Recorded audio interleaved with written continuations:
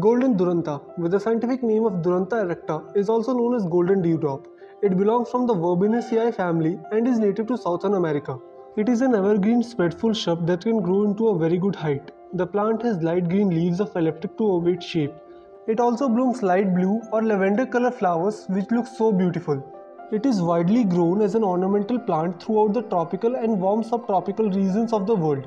These plants are also be used for hedging purposes in various regions. So many parks and gardens use these for their wall hedging or lane hedging. These plants need proper sunlight to grow so it is advisable to place them outdoor where they can get proper sunlight.